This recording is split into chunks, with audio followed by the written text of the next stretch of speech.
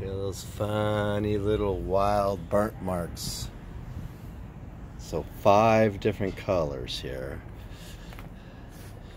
See how squirrely the burnt mark is? As Brad said, it's definitely the squirreliest of all the blends. Let me know.